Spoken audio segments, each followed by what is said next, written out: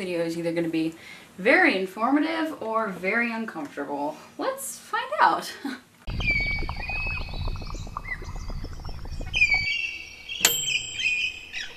I have kind of wanted to broach this subject a little bit on my channel for a very long time, and I never felt really comfortable doing it. But I wanted to just make my channel a comfortable place where we can talk about this kind of stuff because I talk about it on my Tumblr a lot, I talk about it on my Twitter sometimes, I talk about it on my Instagram even sometimes, but I've never really talked about my sexuality on YouTube. And I'm not talking about my sexuality as in like what I identify as. More so, I've always kind of felt like this connection to you guys like I am an older sister or someone that can talk about things that might be uncomfortable.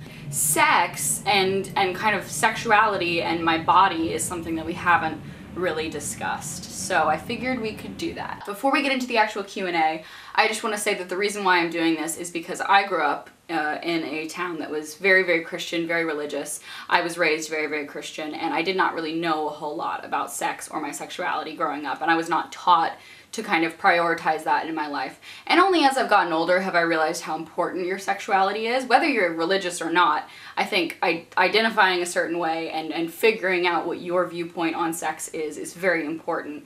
And also, having kind of a sex negative view for a large portion of my um, adolescence wasn't good in my eyes. And now I really am sad that that was how I viewed sex for a very long time. And as I've gotten older, I've realized how important our relationship with sex is and how being more open and able to talk about sex makes things destigmatized. We stop sexualizing women. We can be more open with ourselves and realize that our bodies are just our bodies and sex is just a human behavior. And I think that all of that is really important and I want to impart that upon anyone who's younger than me watching this. Sex isn't scary. It's something that everyone does. It's not special. It's not like fireworks at the crack of dawn amazing. It's just sex. Like that's it. It's a human function and it can be amazing. It can be detrimental in many circumstances, but it's just sex. That's it. and I wish someone had told me that growing up, that it's not as big of a deal as we all try to make it out to be. It's just sex. Like, your mom had it, your dad had it, probably several times before you were even conceived. That being said, it can be a big deal if you don't handle it correctly, and that's why I wanted to do this Q&A. So if there was anything that you had questions about, and anything that you were too uncomfortable to talk to your authoritative figure about, or your school wasn't teaching you proper sex ed, I can somehow help in some facet. And also the comment section of this video can be kind of like a forum where anything that you have questions about, I'm sure there are older people or just more knowledgeable people that would be more than happy to help you in the comments. So I highly encourage you guys to really like go at it down in the comments. Not in a sexy way, you animals, but... okay, now without further ado, these questions are gonna be sex related. They can be about anything. What I think about sex, tips and tricks, whatever it is. Whatever you guys have questions about, that's exactly what I'm answering. So, yes, I have my laptop, I tweeted out. I have a lot of questions on Tumblr, but Tumblr tends to be a little bit more explicit, and as we all know, now YouTube hates anything sexual.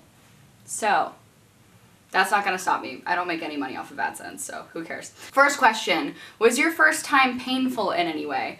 This question is really interesting to me because I remember growing up, uh, that was a huge thing. It was like losing your virginity was super painful, or like it was never fun for the girl, or it was kind of something you just had to get over with. My first time was kind of painful, but it's because I wasn't knowledgeable enough to put forth the effort to make it fun for myself.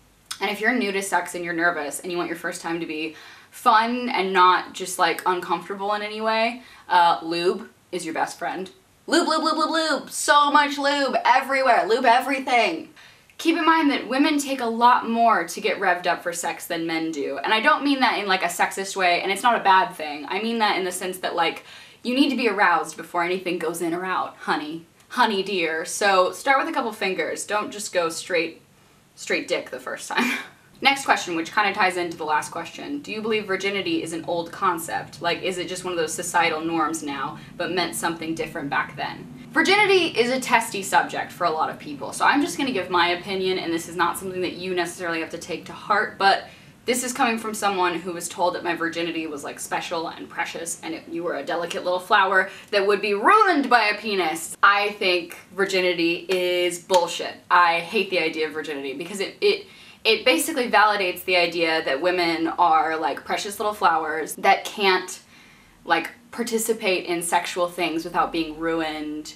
Uh, and I know that men can also lose their virginity and it's a big deal. But for whatever reason, in Western society, I feel like we give men a lot of like bravado and pride for losing their virginity. And it's just all stupid, isn't it? Like, it's just all dumb.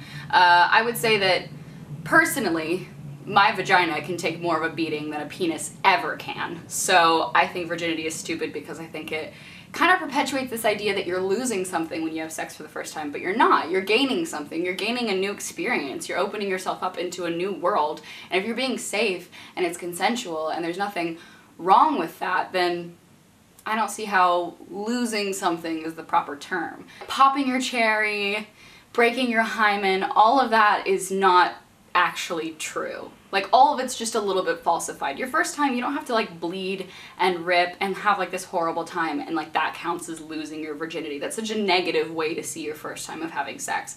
First of all, your hymen could be gone before you ever even think about having sex. Mine went away when I was doing cheerleading. I think I did a split too high and honey, that thing ripped in half. And some people aren't even born with a hymen. Some people have like a fully covered vagina. There's like a million different variations of the female genitalia. So to put ourselves in a box and say when you lose this one specific fold of fabric on your body, you then are no longer a virgin, I think that's stupid. Virginity, that being said, if that's something that's precious to you and it's important to you, good on you. It's just not really to me. How to not get pregnant. Ooh, that's a very important topic and I should really do a whole video about this. The good thing is we are one of the first generations that gets to learn all about sex online. So number one thing that I can tell you is to just research every method of contraceptive. And just to start off, condoms. Condoms are great. Diaphragms are great. I used to use the sponge. I'm currently on NuvaRing right now, which I like, although it makes my skin awful, so I'm kind of looking for a good solution to that. In general, do your research. Pregnancy happens when there's ignorance and or you want to get pregnant. Also, I just kind of want to talk about this for a second. It's not as easy to get pregnant as you think it is. I know a lot of people when they first start having sex are very nervous about like suddenly getting pregnant when they're 17 years old or 18 years old and you worry about that kind of thing. But in reality, if you're safe, if you're using condoms, if you are on birth control, and you're following the rules of that contraceptive, you're not gonna get pregnant. So don't get an anxiety around being pregnant constantly because I know I was like that when I first started having sex and I know a lot of people are like that. If you are being careful and you do your research and you make sure that you're using your contraceptive appropriately, you ain't gonna have babies, girl or guy you're gonna be fine. Next question, how do you say no and not seem too rude? You're never rude if you say no. Let me tell you, never. I don't care if you're dating someone, I don't care if you are married, I don't care if this is a one night stand, or a guy that you just met at a club, or a girl that you just met at a club. It is always 100% okay to say no. If you feel uncomfortable, if you feel like you just wanna wait, whatever it is, you can say no. You have no obligation to get someone's rocks off. Let me tell you, you are your own autonomous body and you are in control of it. And if you don't want anyone up in your temple, you do not have to let them in. I love this phrasing, not seem too rude. Being an independent person is not being rude. Like having an opinion about your own body is not being rude. And this is definitely a young girl that's tweeting me this. So I just want to say to any young girl out there and young guys, if someone's pressuring you to have sex and you want to say no, you don't have to feel like you're being a bad person for doing that. Someone else's like orgasm or like sexuality is not your responsibility at all. They can find someone else if that's their priority in their life. You are never being rude, you just have to say no. And this is something that leads me to my next question. Someone said, just chat about consent for a bit, please.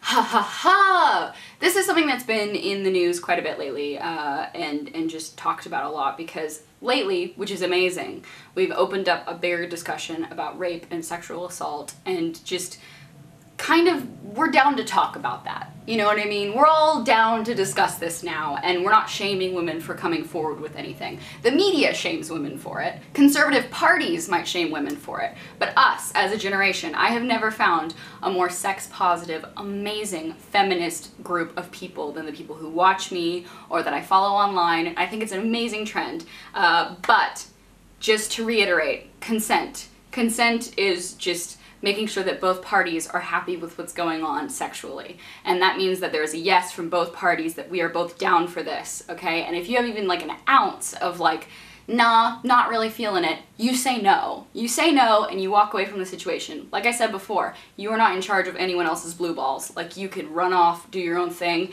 happy, breeze through a meadow, go masturbate if you want to. Like you don't have to deal with anyone else's sexuality. And on the same note, if you are someone who has said no and then someone has stepped over a bound, that is sexual assault.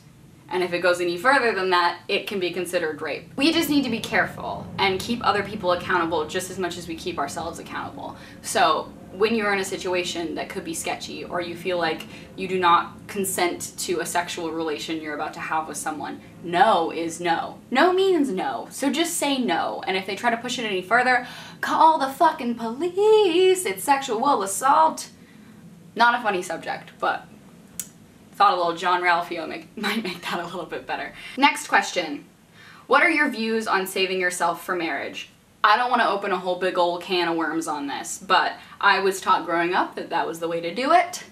Uh, I didn't have necessarily the sexual education that was like, you have sex to have babies, but I was told that you could only have sex in marriage safely and that any sex outside of marriage was gonna like be sinful or awful in some way. I clearly don't believe that anymore, or I am a complete heathen to myself. Uh, I basically live with my boyfriend, so it's we sleep in the same bed, if you know what I mean.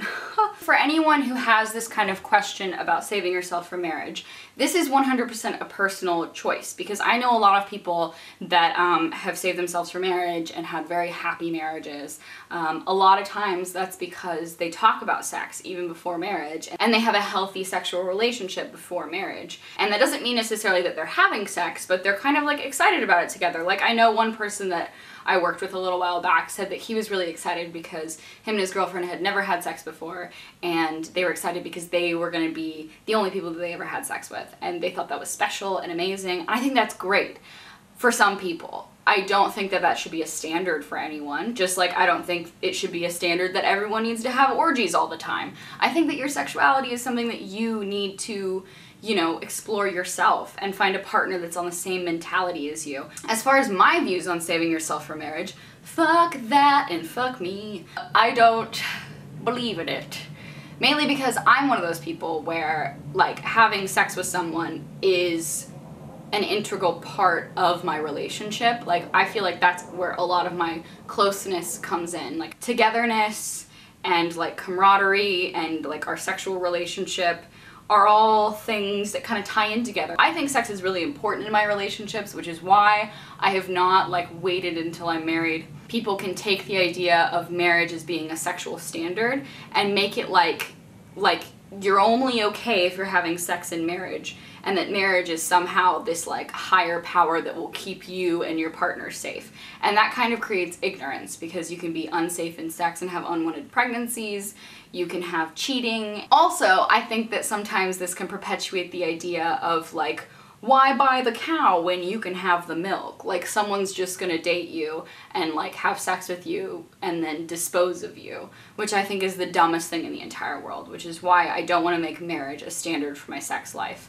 I don't wanna make that like the end goal so that you can have sex with me, like, oh my god, let's get married so you can finally stuck it in. Like, no! Have sex with me because I love you and because this is consensual and because honey, I'm horny sometimes. Although I do completely understand why some people find that a very important standard in their lives, and I would never disrespect that. How do you handle a situation where no matter if you say yes or no, you're still being called a slut and shamed?